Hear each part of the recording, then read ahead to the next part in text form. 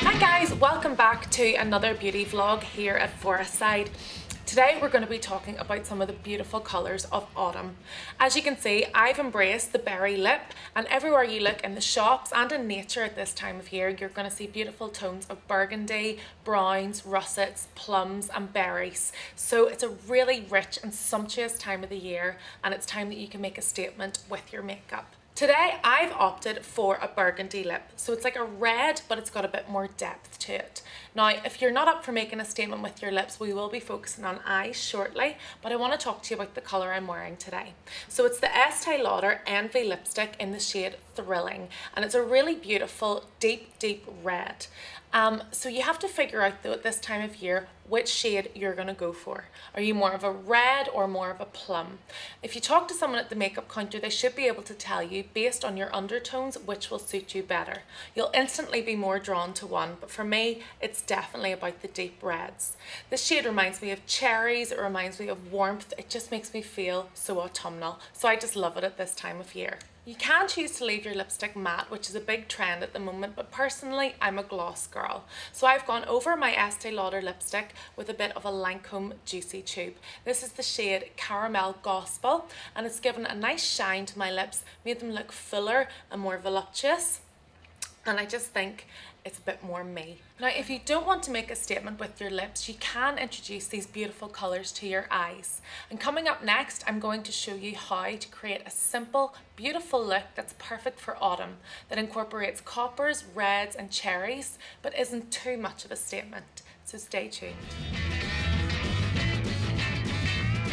So for Amy today, I've started with foundation, a bit of blush, done her eyebrows and a base on her eyes. For the base, I've used Call My Buff eyeshadow from Benefit and it's just given a gorgeous neutral sheen all over her eyelids. Next, we're going to go on to her eyelids with It's Complicated, which is also from Benefit. So using a flat brush, I'm going to apply this to her lid, stopping just below the crease. So our neutral shimmery colour at the start went all the way up to the brow bone to add highlight and shine. Next, I'm going to go in with this beautiful burgundy tone, which is called Raspberry Beret from Clinique. So this is our gorgeous introduction of the burgundy to the eyes. And I'm just softly applying this to the crease. Some people might be a bit afraid to use reds on the eyes. You might think it might look, make you look very tired or like you've had a hit to the eye. But using the right shade can look really, really beautiful and warm and soft. Using that same colour, I'm going to run that underneath the eyes if you look up. Just smoothing out any little creases and just running that underneath the eye. And it's a really nice soft effect. So depending on your style, you might want to just leave it like that, but we're going to make it a little bit smokier still. And we're going to use Chocolate Covered Cherry, also by Clinique. So again, I'm taking a little crease brush and I'm focusing right on the outer corner this time. And it's going to give us a lovely smoky effect to the eye. You can make it as dramatic or as subtle as you like, depending on your own style.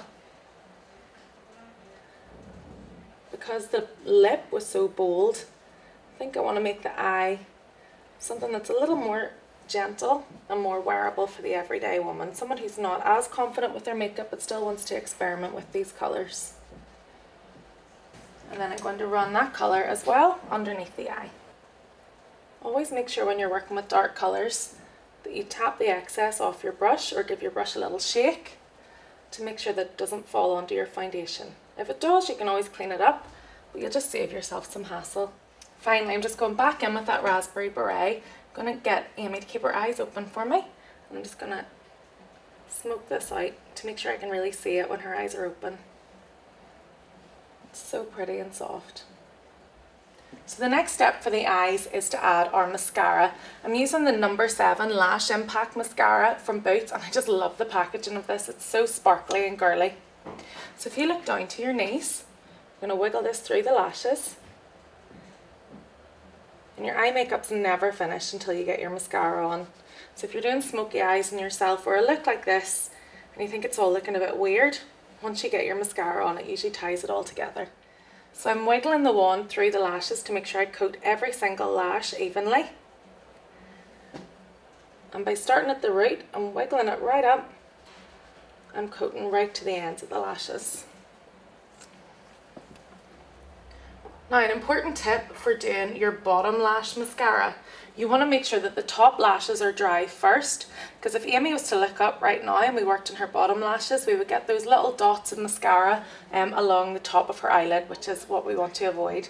So I'm going to move on while those are drying to her um, liquid eyeliner. So if you close your eyes I'm using the gel liner from um, Boots number 7 which is really really inky. It's really soft and pliable and easy to work with which is great because sometimes gel liners can dry out pretty quickly.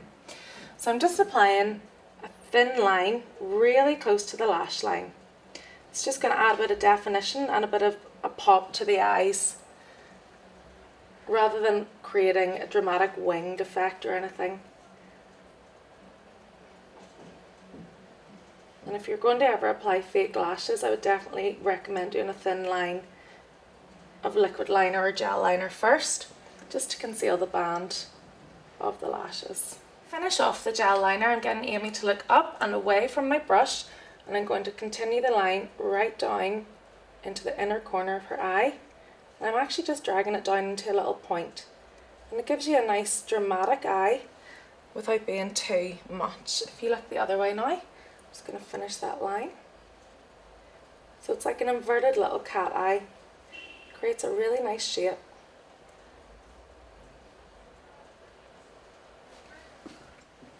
So because I've dragged my liquid liner right into the inner corners, I want to put some black pencil liner into her waterline and that's going to make her eye look complete. So right now we've got dark underneath the eye, we've got the white of her eyeball and her waterline is still pink. So by darkening that it'll make the eye look um, like it's got something to rest on and it'll give us that all over smoky effect. So if you look up, my pencil's sharpened just for hygiene. And we're going to run that into the waterline. This is the number 7 blackest black pencil.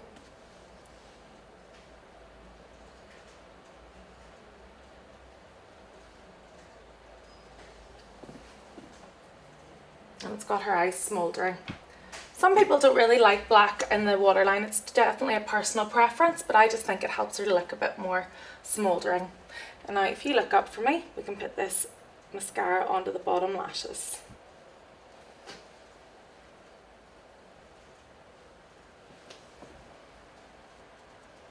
So you can see now We've got that beautiful burgundy eye. It's slightly smoked out, but it's not too much. It's a really nice, simple look that you can hopefully create easily for yourself.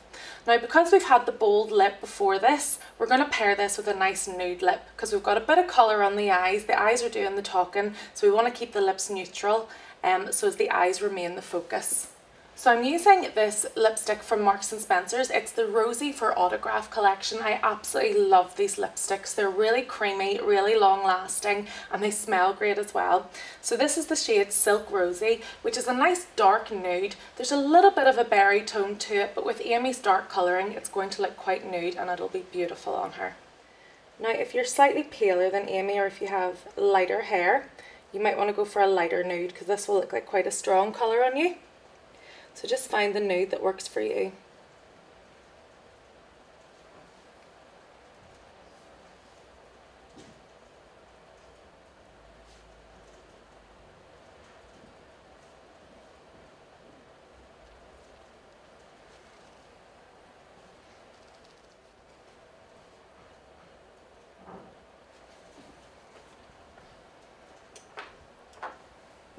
Finally, we're going to finish with a little bit of lip gloss. So this is the Autograph Mirror Shine Lip Lacquer, also from Marks & Spencer's, and this is in the shade Nude.